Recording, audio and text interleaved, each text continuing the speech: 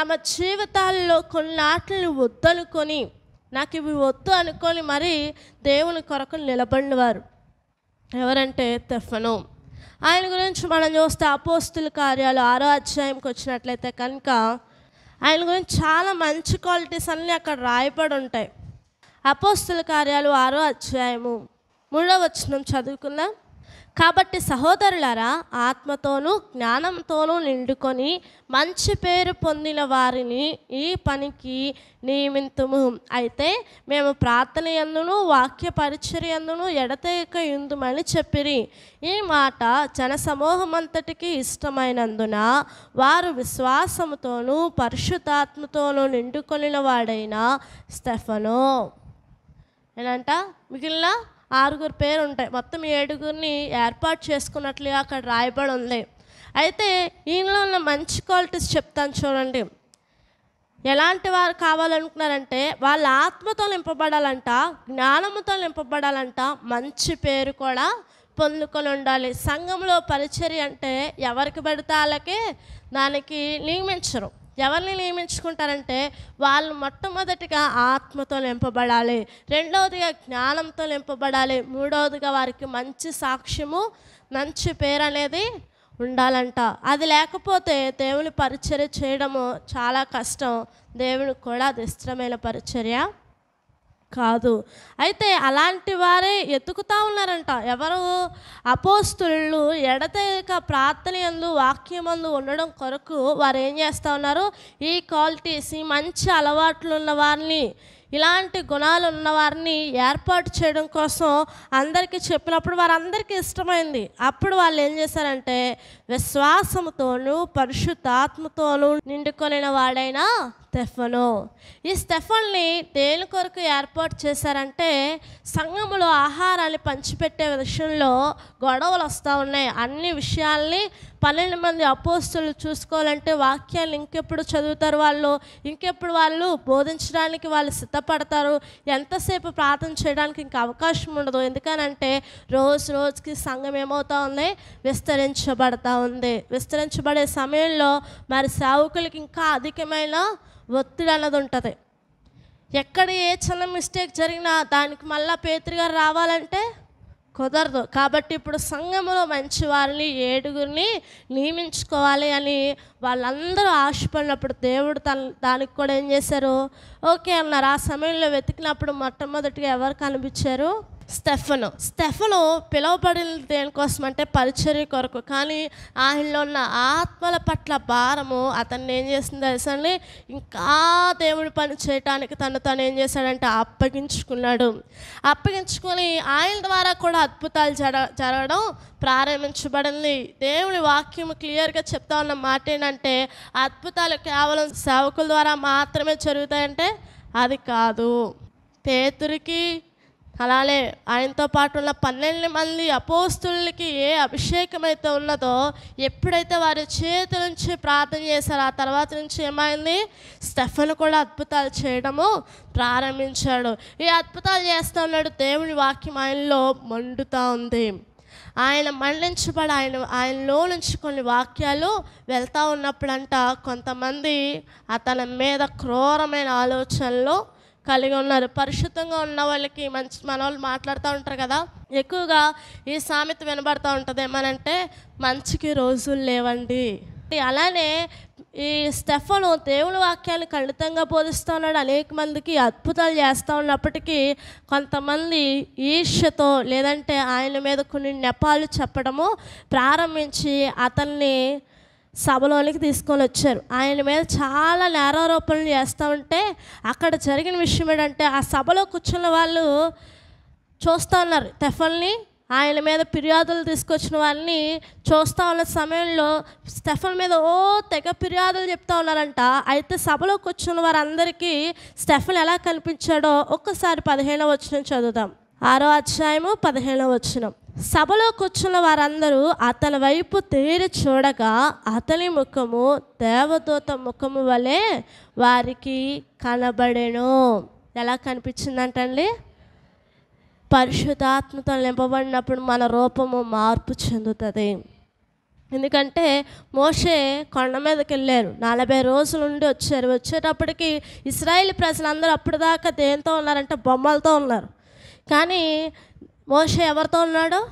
దేవునితో ఎప్పుడైతే ఉన్నారో దిగి రాగానే ఆయన ముఖం చూడటానికి వాళ్ళ భయం పుట్టింది. ఇప్పుడు ఈ వాక్యాన్ని బట్టి స్టెఫన్ ఎవరితో సహవాసం చేస్తూ ఉన్నాడు? దేవునితో సహవాసం చేస్తూ ఉన్నాడు కాబట్టి ఇప్పుడు తన ముఖం ఎలా ప్రకాశిస్తూ ఉందంట? దేవుని ముఖము వలె అయిపోతూ ఉంది. మన ముఖంలో ఎలా ఉన్నాయి? మన ముఖానికి పెరలోని లేకపోతే బట్టికి రాలేమేమో.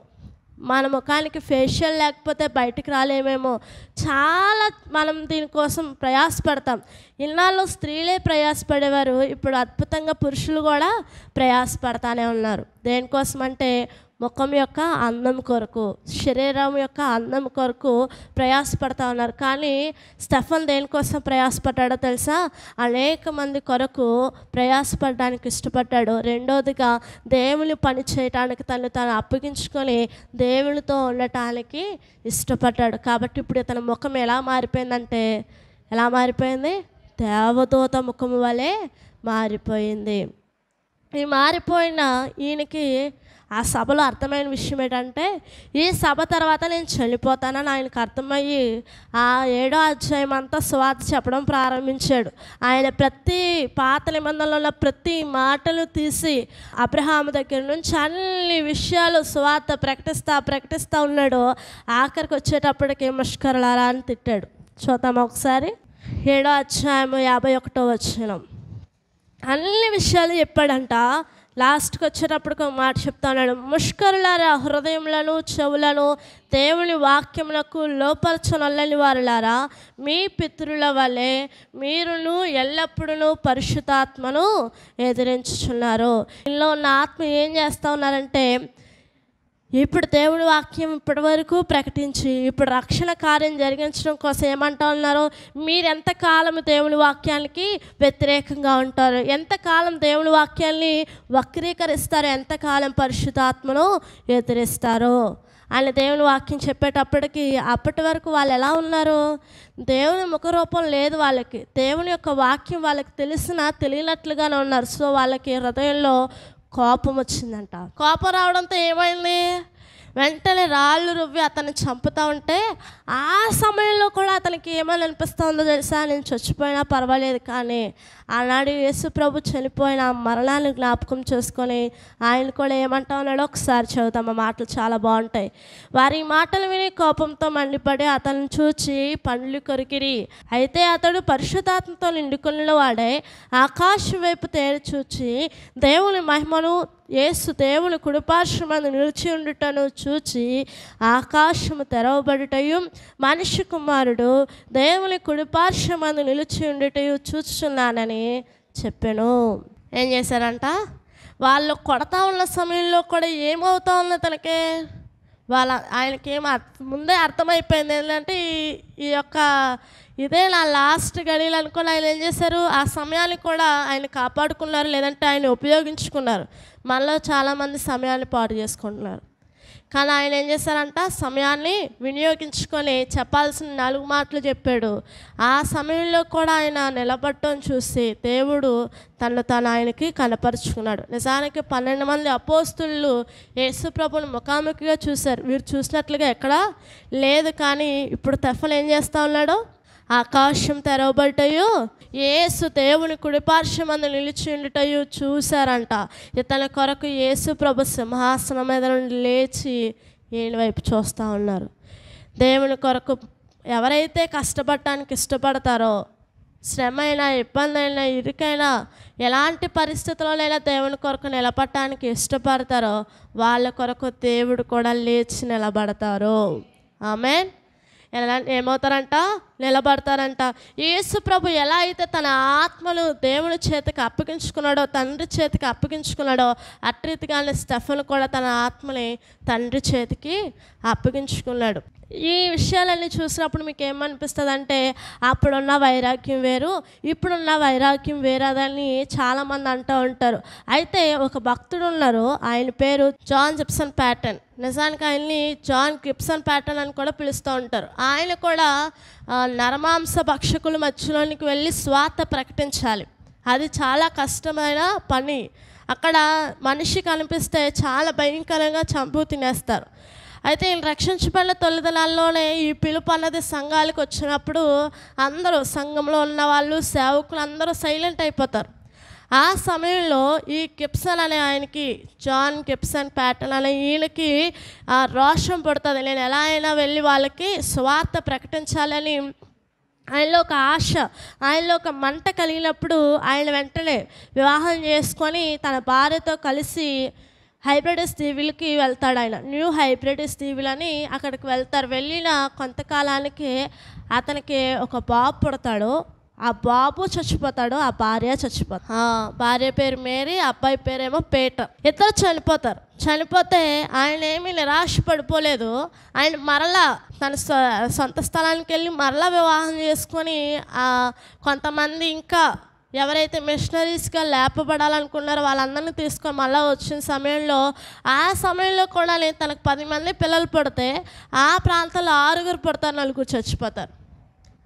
ఇలాగ మరణం కనబడతా ఉన్న ఆయనలో ఉన్న ఆశ ఏంటంటే ఎలా అయినా సరే కొంతమందినైనా రక్షించాలని ఆయన ఎప్పుడు ఒక మాట చెప్తూ ఉంటారంట. ఈ భూమి మీద మనం ఎంతకాలం బ్రతుకుతాం మనం ఎక్కువ కాలం బ్రతకలేము కదా. ఎప్పుడ ఎప్పటికైనా మనము ఈ భూమిని విడిచిపెట్టి వెళ్ళిపోతాము ఈ శరీరాన్ని విడిచిపెట్టి వెళ్ళిపోతాము. అయితే విడిచిపెట్టగానే దేవుని స్వరూపం కలిగి దేవుని ముఖ దర్శనం చేయాలి.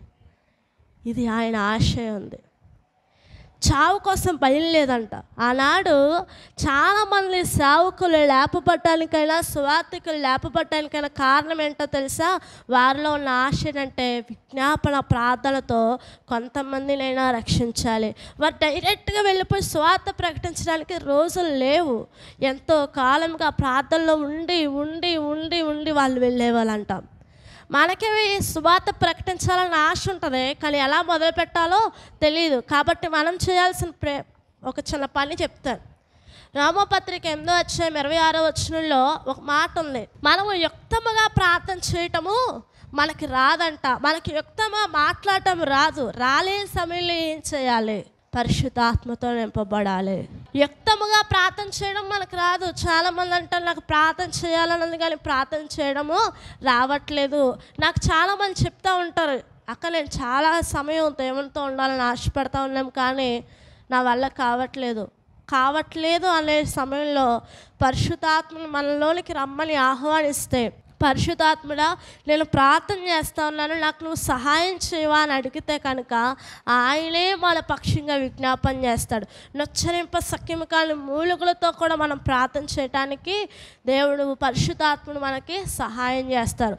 ఇలాంటి ప్రార్థన ముందు ఎవరికైతే వస్తుందో ఆ ప్రార్థనలో నుండే కొంతమందిని రక్షించాలని ఆశపడుతుంది. కొంతమందినైనా ప్రభు కొరకు సంపాదించాలని ఆశపడుతుంది. ఏ ఎవరైతే విజ్ఞాపన చేస్తారో వాళ్ళు ఎదుటి వాళ్ళ గురించి ఎప్పుడు తప్పుగా మాట్లాడలేరు. ఎందుకని? వాళ్ళు దేవుని సన్నిధికి వచ్చి ఏమని చెప్తూ ఉంటారు ప్రభా ఆ బిడ్డలు మార్చు మార్చు అని విజ్ఞాపన చేస్తూ ఉంటారు. ఇప్పుడు వెళ్ళి ఆ బిడ్డ కోసం ఎవరైనా తప్పుడుగా మాట్లాడగలుగుతారా? మాట్లాడలేరు. మాట్లాడుతున్నారంటే అర్థం ఏంటంటే నేను చెప్పక్కలేదు మీకు అర్థమైంది. మాట్లాడుతున్నారంటే పరిశుద్ధాత్మ సహాయంతో మనము ప్రార్థన చేయట్లేదనే. ఈయన తన భార్యను కోల్పోయాడు తన కుమారుని కోల్పోయాడు. ఈ సమయంలో వెళ్ళి ఎవరినైనా మిషనరీస్ని రమ్మని చెప్పగలుగుతాడా? చెప్పాడంటే అర్థం ఏంటో తెలుసా? నిజానికి ఎవరైనా పారిపోతారు. ఈయన పారిపోకుండా మరలా కొంతమంది మిషనరీస్ అక్కడ కావాలి అని అడిగారు అంటే అర్థం ఏంటో తెలుసా అండి? కేవలం ఒకటే కారణం. ఆయన ఎంతగానో పరిశుద్ధాత్మతో నింపబడిపోయాడు. ఆ ప్రాంతం కొరకైన భారము ఆయన హృదయంలో ఉంది. మనకి ఆ భారం కావాలి ఈరోజు. చాలా భారాలు ఉంటాయి మనకి. రేపొద్దున లెగిస్తే కట్టాల్సినవి గుర్తుంటాయి. అన్నీ గుర్తుంటాయి. కానీ భారం అన్నది హృదయంలో ఉండలేని స్థితిలోనికి వెళ్ళిపోతూ ఉన్నారు. కానీ ఈరోజు దేవుని వాక్యం స్పష్టంగా మాట్లాడుతూ ఉంది. నీకు ఏదైతే చేత కావట్లేదో అది దేవుని సన్నిధికి వచ్చి ప్రభా నాకు ఇది చేతనవ్వట్లేదు. నాకు అనేక మంది కొరకు ప్రార్థన చేయాలని ఉంది. విజ్ఞాపన చేయాలని ఉంది. నాకు చేతనవ్వట్లేదు. నువ్వు నాకు సహాయం చేస్తావా? పరిశుద్ధాత్మన మీరు మాకు సహాయం చేస్తారని అడిగితే పరిశుద్ధాత్మని మనకి సహాయం చేయటానికి ఇష్టపడతా ఉన్నాడు. అనేక మందికి దీవెనకరంగా ఆనాడు స్టెఫన్ ఉన్నాడు. జాన్ గిప్సన్ ప్యాటర్న్ అనే వ్యక్తి కూడా మాదిరి అన్నది ఈయన కూడా మనకు ఒక మాదిరి ఉంచారు. కారణం ఏంటో తెలుసా? ఒకటే కారణం. వారి పరిశుద్ధాత్మతో నింపబడి అధికంగా వారి యొక్క వారి యొక్క ప్రాంతాల కొరకు ప్రార్థన చేశారు. ఒకవేళ మరణం వచ్చినా పర్వాలేదు. దేవుని కొరకు మేము రోషంగా నిలబడతామని వారికి ఆ మంట రావడానికి కారణం పరిశుద్ధాత్ముడు. ఆ పరిశుద్ధాత్మతో మనం కూడా నింపబడాలి. ఆయన మనం ఎప్పుడు ఆహ్వానిస్తామా అని చూస్తూ ఉన్నారు. కొంతమంది పరిశుద్ధాత్మను కోల్పోయిన పరిస్థితిలో ఉన్నారు. మరలా అడగండి మరలా పరిశుద్ధాత్మ కొరకు ఆతృతతో మనం అడిగినప్పుడు ఆయన మన ఆశ తీర్చడానికి ఇష్టపడతా ఉన్నాడు. దేవుడి మాటలు దీవించునుగాక. ఆమె ప్రార్థన చేసుకుందాం. మోకరించండి. మహాగణన మహోన్నతానికి వందనాలు స్తోత్రం తండ్రి. ఈ సమయంలో ఎంతవరకు మీరు నడిపించిన విధానం కొరకు వందనాలు ప్రభు నిజమే స్టెఫను తన యొక్క జీవితము అనేక మందికి మాదిరికరంగా ఉంది. మరణమే మా ముందుకు వచ్చిన నాన్న ఏ పరిస్థితుల్లోనైనా కూడా ప్రభా నీ కొరకు మేము నిలబడాలంటే నీ పరిశుద్ధాత్మతో మేము నింపబడాలి. స్టెఫను అయా ఆత్మతోనూ జ్ఞానంతోనూ నిండుకొని వాడే మంచి సాక్ష్యాన్ని మంచి పేరు పొందిన వాడే ఉన్నాడు. మేము అట్టిగానే ఆ ఆత్మతో నింపబడగలిగిన కృపదయ చేయలేం నాన్న మాకు జ్ఞానం కావాలి. మంచి పేరు కూడా మాకు రావాలి. అంటే నీ సన్నిధిలో అడుగుతా ఉన్నాం నీ పరిశుద్ధాత్మతో మమ్మల్ని కూడా నింపమని అడుగుతా ఉన్నాం. ఎలాంటి పరిస్థితులు వచ్చినప్పటికీ నీ కొరకు మేము నిలబడగలిగిన కృపద ఇచ్చేయాలి అయ్యా జాన్ గిప్సన్ ప్యాటర్న్ తన లైఫ్లో తన కుమారులు చనిపోతా ఉన్న తన భార్య చనిపోతా ఉన్న అయ్యా నీ స్వార్థ సేవను ఆయన ఆపలేదు. కారణం ఆయనలో నువ్వు పెట్టిన మంట ఆయనలో నువ్వు పెంచిన నాన్న అనేక మంది కొరకైన భారము. మాకు ఆ భారం కావాలి. మాకు కూడా ఈ యొక్క నాన్న ఆఖరి గడియల్లోనికి వస్తూ ఉన్నాం నాన్న ఇంకొన్ని దినాల్లో ఇంకొన్ని రోజుల్లో ప్రభు ఏదైనా జరగచ్చు. ఇప్పటికే ప్రపంచమంతా తలకిందులైపోతూ ఉంది. నీ సన్నదిలో అడుగుతూ ఉన్నాం ప్రభా ఈ కడవరి దినాల్లో మాకు కూడా ప్రభా నీ పరిశుద్ధాత్ముడు కావాలి. నీ పరిశుద్ధాత్మ సహాయం మాకు కావాలి. దేవా మమ్మల్ని అట్టి రీతిగా సిద్ధం చేయండి పరిశుద్ధాత్ముడా. అయ్యా మేము అనేక మందికి తీవ్రకరంగా ఉండాలి. అనేక మంది రక్షణకు మేము కారణం అవ్వాలి ప్రభా. మాకు సహాయం చేయండి. సంఘం అంతటికి మీరు అటు దీవెనలతో నింపమని అడుగుతా ఉన్నాం. ప్రభా నీవే గొప్ప కార్యాలు జరిగించమని అడుగుతూ ఏ సునామంలో అడుగుచున్నాం తండ్రి. ఆమె మరెన్నో వీడియోస్ కోసం మా ఛానల్ని సబ్స్క్రైబ్ చేసి ఏ ఒక్క వీడియోని మిస్ కాకుండా చూడాలంటే పక్కనే ఉన్న బెల్ ఐకాన్ని యాక్టివేట్ చేసుకోండి.